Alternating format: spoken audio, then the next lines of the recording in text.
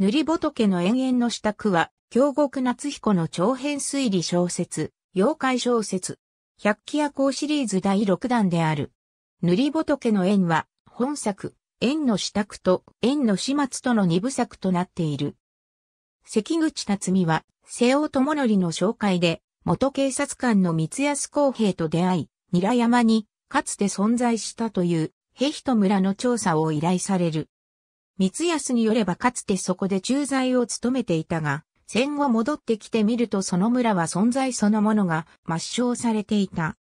関口は地元の警官、淵脇と道中で出会った流浪の物書き、道島政権と共に韮山を訪れる。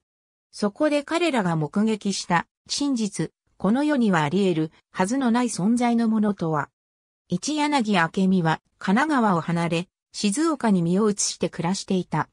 ある日、村上平吉と名乗る男の自殺未遂現場に出くわし、彼を救って解放する。彼は、ある過去の事情から薬売りに対して恐怖を抱いていた。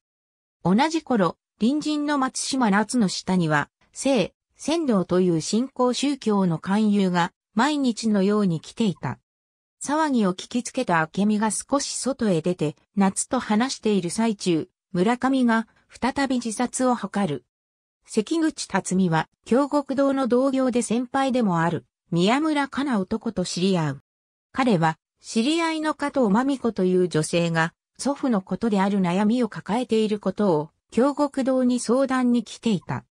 真美子の祖父は、最近怪しげな信仰宗教のような団体にかぶれ、財産を注ぎ込んでおり、彼女は祖父をその団体から脱退させたいのだという。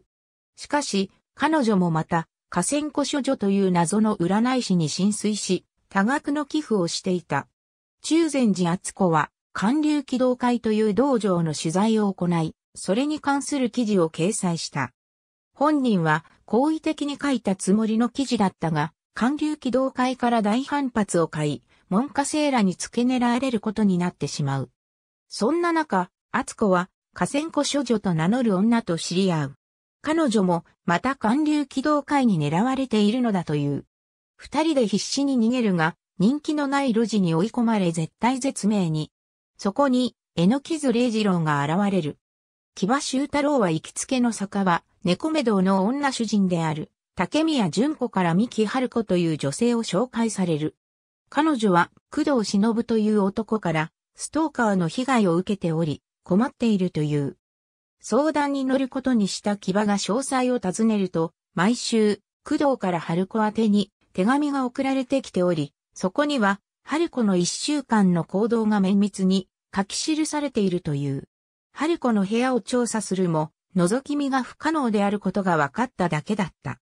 折作茜は、折作家の登園と名乗る羽田隆三という男と、折作家の家や土地に関する商談を行っていた。羽田は、いいねで家や土地を買い取る代わりに自分の部下になるようにと迫ってきていた。